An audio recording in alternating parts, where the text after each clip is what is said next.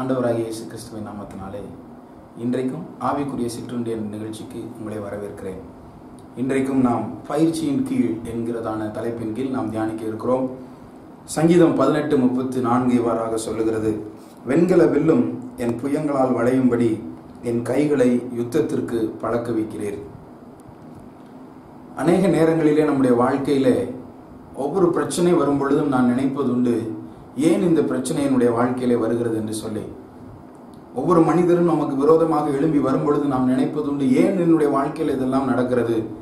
நான் வேதம் வாசிக்கிறேன் நான் ஜெபிக்கிறேன் நான் ஆண்டவரை உண்மையாய் தேடுகிறேன் ஆனால் ஏன் என்னுடைய வாழ்க்கையில் இது நடக்கிறது? என்று சொல்லி நாம் அநேக நேரங்களில் நினைத்து பார்ப்பதுண்டு பிரியமான தேவனுடைய ஜனமே அதற்கு ஒரு மிக முக்கியமான காரணத்தை ஆண்டவர் வைத்திருக்கிறார்.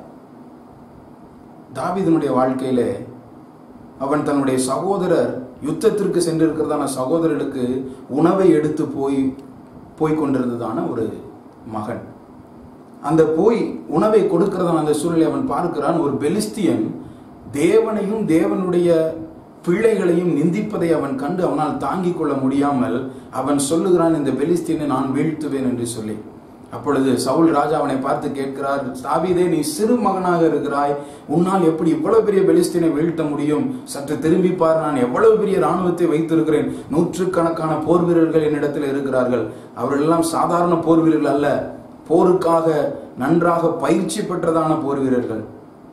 அவர்கள் எல்லாம் என்னிடத்தில் இருக்கிறார்கள். அவர்கள் முடியாமல் அங்கே நிற்கிறார்கள். நீ ஒரு சிறு பையன் நீ எப்படி இதை சாதிக்க முடியும்? என்று சொல்லி சவுல் ராஜா அவனை பார்த்து கேட்கிறார். அப்பொழுதுதான் தாவீது அந்த சவுல் ராஜாவை பார்த்து சொல்லுகிறார் ராஜாவே நான் என்னுடைய சிறு வயதிலே நான் ஆடுகளை மேய்த்து கொண்டிருந்த பொழுது அங்கே ஒரு முறை சிங்கமும் ஒரு முறை கரடியும் வந்தது. அப்பொழுது தேவன் எனக்கு பலனை கொடுத்தார். நான் அவைகளில் இரு இரண்டையும் வீழ்த்தினேன் என்று சொல்லி அவன் சொல்லுகிறான்.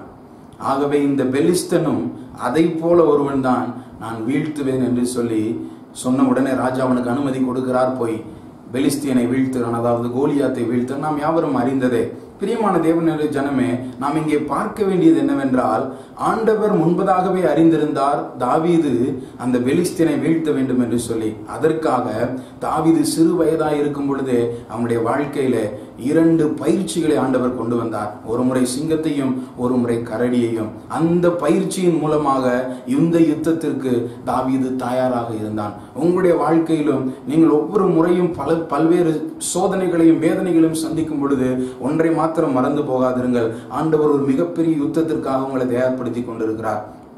அவருடைய யுத்தத்திற்காக இவைகளெல்லாம் பயிற்சியின் காலங்கள். இந்த காலங்களில் நீங்கள் தட கடந்த பிறகு ஒவ்வொரு சோதனை வரும் பொழுதும் நீங்களாகவே சொல்லுவீர்கள் நான் இதைவிட பெரிய காரியங்களை நான் பார்த்திருக்கிறேன். என்னுடைய தேவன் என்னை காப்பாற்ற வல்லவர். என்னுடைய தேவன் இந்த சோதனை நான் தாண்டுவதற்கு எனக்கு பலன் கொடுக்க வல்லவர் என்பதை நீங்களாகவே அறிவிப்பீர்கள். நாம் பயிற்சியின் கீழ் இருக்கிறோம். யுத்தத்திற்காக ஆண்டவர் நம்முடைய கரங்களை பயிற்சி கொடுத்து கொண்டிருக்கிறார். கர்த்தர் உங்களை ஆசீர்வதிப்பாராக. ஆமே